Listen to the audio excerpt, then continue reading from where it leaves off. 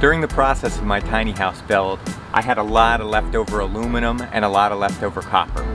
Over the course of several months, I melted that down into some ingots and some other little trinkets here as well. I was also left with a lot of extra slag, which is kind of the, the dirty leftover metal from the melting process.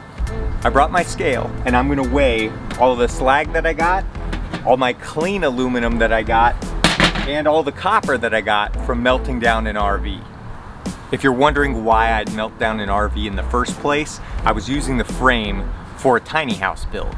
The metal from the RV got too mangled during demolition to reuse.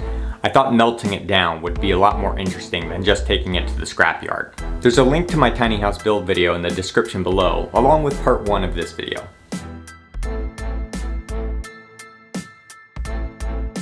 The aluminum slag weighed in at 23.8 pounds. Next, I'd weigh the ingots.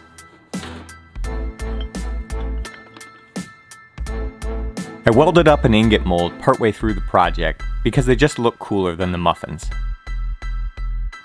28.2 pounds of ingots. Then I added the rest of the aluminum.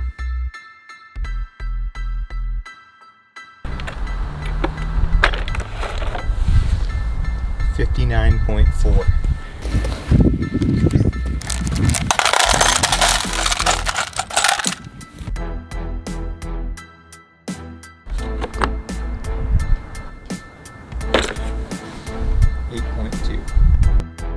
I ended up with 59 pounds of clean aluminum like this, a little over 8 pounds of copper like this, and 28 pounds of aluminum slag.